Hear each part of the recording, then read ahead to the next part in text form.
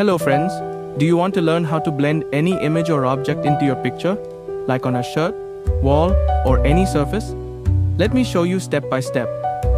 First, select your main image. Then go to File and import the object or design you want to add. After selecting it, shape or resize it according to your requirement.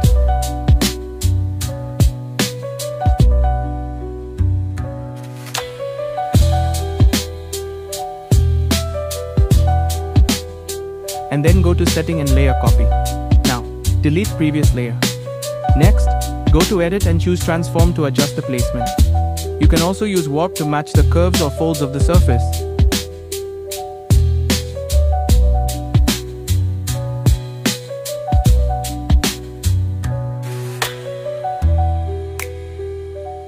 Finally, go to Edit Auto Blend Layers and select Stock.